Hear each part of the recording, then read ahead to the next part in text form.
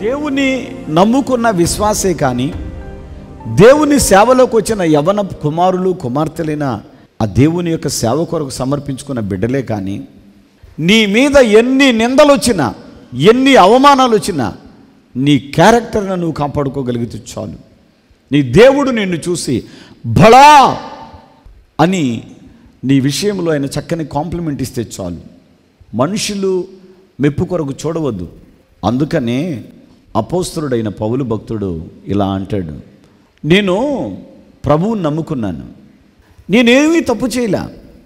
అయినా కూడా నన్ను నా బట్టలు విప్పి అందరి ముందు నుంచోబెట్టి అందరూ చూస్తూ ఉండగా నన్ను వంగుండబెట్టి ఒకటి తక్కువ నలభై దెబ్బలు కొట్టారు. అంటే ముప్పై తొమ్మిది దెబ్బలు కొట్టారు. ఆ కొట్టినప్పుడు చీ ప్రభువు నమ్ముకుని నీతిగా బ్రతికే నాకెందుకండి ఇంతమంది ముందు బట్టలు ఇప్పి కొట్టారు నన్ను అని నేను విడిచిపెట్టలా. కారణం ఏంటంటే నేను నమ్మిన వారిని నేను ఎరుగుదును అన్నాడు. ఆమెన్. అంటే పౌలు గారి యొక్క భక్తి ఇక్కడ ప్రభువు చెప్పిన భక్తి చక్కగా సూట్ అయింది. నన్ను నమ్ముకున్న మిమ్మల్ని ఇలా బాధ పెడతారు. నన్ను నమ్ముకున్న మిమ్మల్ని అవమానపరుస్తారు. మీ పేరే చెడ్డదని అంటారు. అంటే మీ పేరు ఎత్తితేనే రోత పుట్టేలాగా చెప్తారు అన్నమాట అందుకనే అపోస్తుడైన పౌలు అంటాడు నేను మనుషుల మెప్పు కోసం ఎప్పుడు వెంపర్లాడలా? దెబ్బలు కొట్టినా ప్రభు మెప్పు కోసమే చూశా. రాళ్ళతో కొట్టినా ప్రభు మెప్పు కోసమే చూశా. అందుకని నేను మనుషుల దయ కొరకు చూడను నేను. మనుషులు ఇష్టం ఉన్నప్పుడు కొద్దిగా పెడతారు కోపం వచ్చినప్పుడు కడుపులో ఉన్న ప్రేగులు తెగిపోయి అంత బాధ కలిగేటట్లు తిడతారు. కాబట్టి నేను మనుషుల దయను సంపాదించుకొని కోరుచున్నానా లేదు లేదు లేదు లేదు. నేను మనుషుల దయను సంపాదించుకొని కోరిన వాడనైతే నేను దేవునికి దాసుడిని కాకపోదును. మనుషుల యొక్క ప్రేమ కోసం చాలామంది దేవుని ప్రేమను దేవుని సహవాసాన్ని దేవుని శక్తిని దేవుని కృపను తుదకు నిత్యరాజ్యమును కూడా చాలామంది పోగొట్టుకుంటున్నారు. ఇంతలో కనబడి అంతలో మాయమైపోయే ఈ మనుషుల యొక్క ప్రేమ కన్నా నీవు తల్లి గర్భముందు రూపించబడిన నాటి మొదలుకొని భూమి మీద నీ జీవిత కాలమంతా నిన్ను కాపాడి నీ జీవితము ఈ లోకమందు ముగిసిన తరువాత కూడా పరలోక రాజ్యములో నీకు స్థానం ఇచ్చే దేవుడు అంటున్నాడు. నా నిమిత్తము నా సువార్త నిమిత్తం ఎవరైతే ఇదిగో ఈ అవమానాలను నిందలను భరించి బ్రతుకుతారో అప్పుడు మీ బ్రతుకులు ఏమవుతాయన్నాడు? ధన్యములు. ఆమెన్. సిలువ మిషన్ వారిచే నిర్వహించబడుచున్న మహా ప్రార్థనా పండుగలు. ఏప్రిల్ ఇరవై మూడు ఇరవై నాలుగు ఇరవై ఐదు తేదీలలో ప్రతిరోజు సాయంత్రం ఆరు గంటలకు ఆరాధన ప్రారంభించబడును. స్థలం STBC college ground railway station దగ్గర కర్నూలు.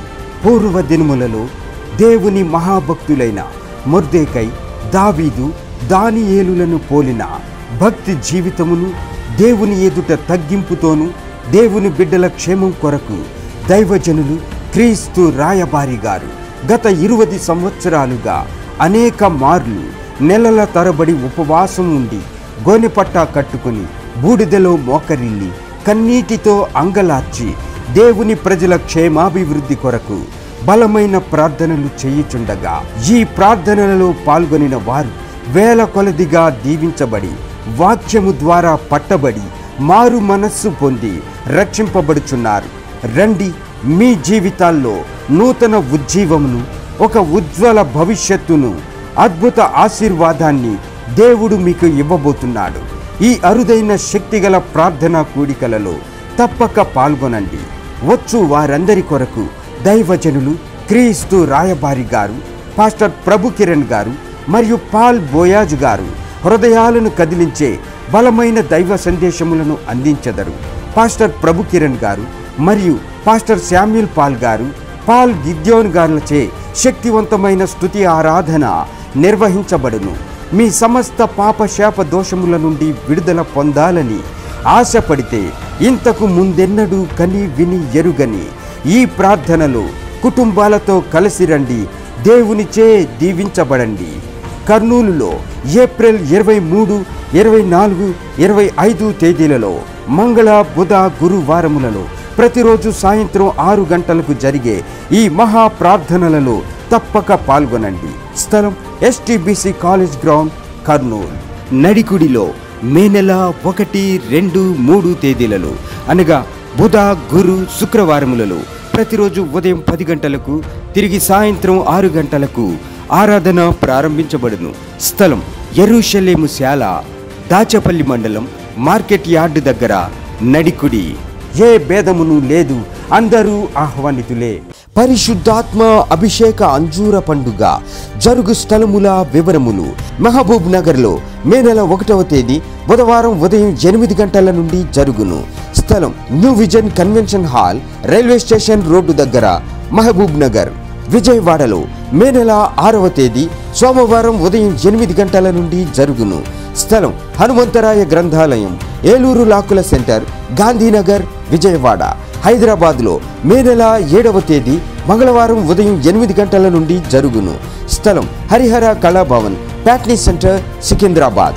నంద్యాలలో మే నెల ఎనిమిదవ తేదీ బుధవారం ఉదయం ఎనిమిది గంటల నుండి జరుగును. స్థలం JK function hall Salim Nagar municipal office దగ్గర నంద్యాల. కర్నూలులో మే నెల తొమ్మిదవ తేదీ గురువారం ఉదయం ఎనిమిది గంటల నుండి జరుగును. స్థలం వైఎంసీఏ గ్రౌండ్ రాజ్ థియేటర్ ఎదురుగా ఆర్ఎస్ రోడ్ కర్నూలు. ఆత్మకూరులో మే నెల పదకొండవ తేదీ శనివారం ఉదయం ఎనిమిది గంటల నుండి జరుగును. స్థలం డైమండ్ ఫంక్షన్ హాల్ బస్టాండ్ దగ్గర నంద్యాల టర్నింగ్ వద్ద నంద్యాల జిల్లా. మిర్యాలగూడలో మే నెల పదకొండవ తేదీ శనివారం ఉదయం ఎనిమిది గంటల నుండి జరుగును. స్థలం Miryalaguda function hall Sagar road Telangana. అడ్డాడలో May నెల పన్నెండవ తేదీ ఆదివారం ఉదయం ఎనిమిది గంటల నుండి జరుగును. స్థలం సిలువ మిషన్ స్వస్థతశాల గుడివాడ పామర్రు మధ్యలో. అడ్డాడ. ప్రియులరా ఈ సహోదరి పేరు రంగమ్మ గారు. వీరు ఏలూరు ప్రక్కన ఉన్నటువంటి జాలిపూడి అనేటువంటి ఊరు నుంచి రావడం జరిగింది.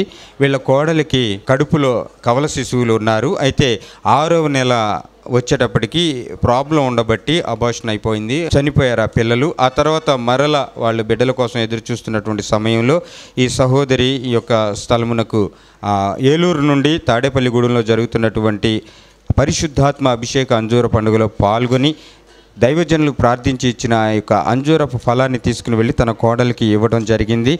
ఆ సహోదరి ఆ యొక్క ఫలములను విశ్వాసంతో భుజించిన మీదట ఇప్పుడు ఆమె ప్రెగ్నెన్సీ పొందుకోవడానికి దేవుడు కృప చూపించి ఉంచాడు. దేవునికి స్తోత్రములు చెల్లిద్దాం.